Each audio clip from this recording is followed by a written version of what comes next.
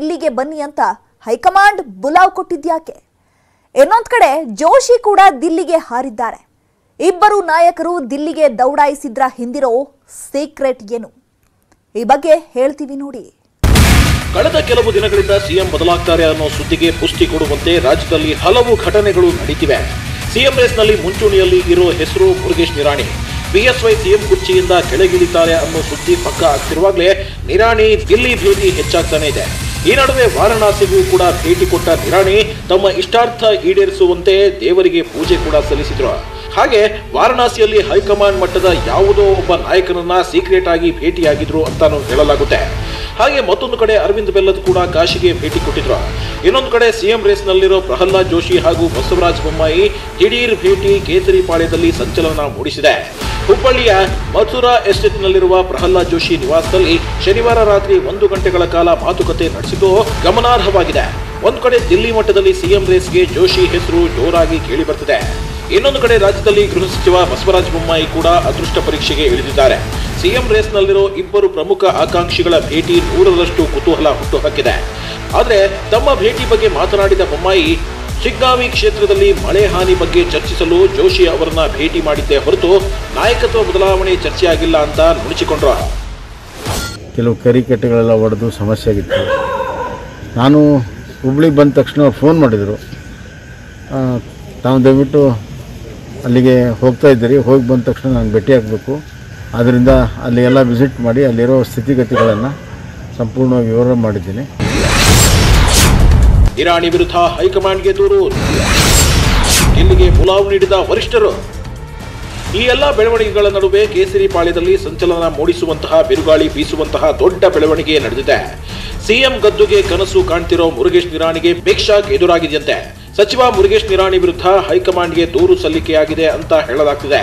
ನಿರಾಣಿ ವಿರುದ್ಧ ಭ್ರಷ್ಟಾಚಾರದ ದಾಖಲೆಗಳ ಸಮೇತ ದೂರು ಸಲ್ಲಿಕೆಯಾಗಿದೆ.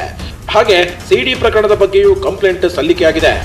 ಆದ್ರೆ ನಿರಾಣಿ ವಿರುದ್ಧ ದೂರು ಸಲ್ಲಿಸಿರೋರು ಯಾರು ಅಂತ ಬಿಜೆಪಿ ನಾಯಕರು ಗುಟ್ಟು ಬಿಟ್ಕೊಟ್ಟಿಲ್ಲ. ಬಿಜೆಪಿ ನಾಯಕರ ದೂರಿನ ಮೇರೆಗೆ ನಿರಾಣಿಗೆ ಹೈಕಮಾಂಡ್ ಬುಲಾವ್ ನೀಡಿದೆ.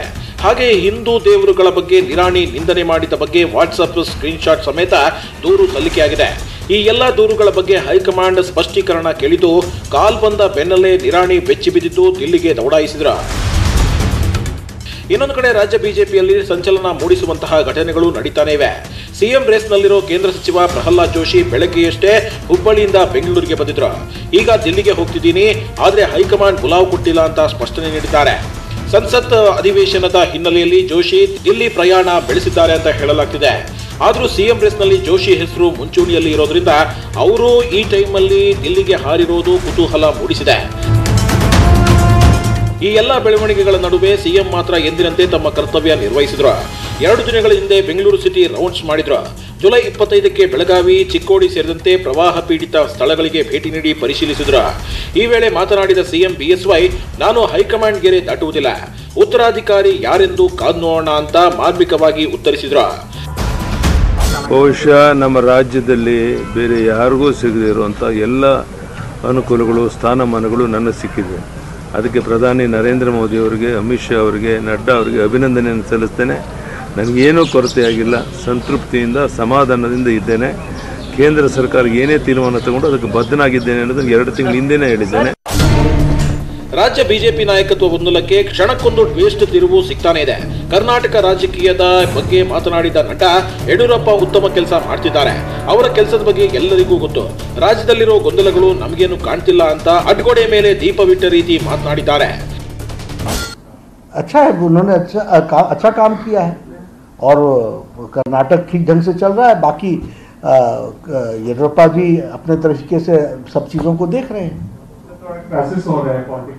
ऐसा आपको लगता है हमको नहीं लगता ಇನ್ನು ಬೆಳಗಾವಿಯಿಂದ ಬೆಂಗಳೂರಿಗೆ ಬಂದ ಬಳಿಕ ಮಾತನಾಡಿದ ಬಿಎಸ್ವೈ ಇದುವರೆಗೂ ಹೈಕಮಾಂಡ್ನಿಂದ ಯಾವುದೇ ಸಂದೇಶ ಬಂದಿಲ್ಲ ನಾನು ಯಾವಾಗ ರಾಜೀನಾಮೆ ಕೊಡಬೇಕು ಅಂತ ಇರುತ್ತೋ ಆಗ ಕೊಡ್ತೀನಿ ಅಂದ್ರು ಕೊನೆ ನಿಮಿಷದವರೆಗೂ ನಾನು ಕೆಲಸ ಮಾಡಬೇಕು ಅನ್ನೋ ತೀರ್ಮಾನ ಮಾಡಿದ್ದೇನೆ ನಾನು ಯಾವಾಗ ರಾಜೀನಾಮೆ ಕೊಡಬೇಕು ಅಂತ ಹೇಳ್ತೀರೋ ಅವಾಗ ರಾಜೀನಾಮೆ ಕೊಡಕ್ಕೆ ಸಿದ್ಧ ಇದ್ದೇನೆ ಅಂತ ಎರಡು ತಿಂಗಳ ಹಿಂದೆನೇ ನಾನು ಹೇಳಿದ್ದೇನೆ ಆದರೆ ಈಗಲೂ ನಾನು ನಿಮ್ಮ ಪುನರಾವರ್ತಿ ಹೇಳ್ತಾ ಇದ್ದೇನೆ.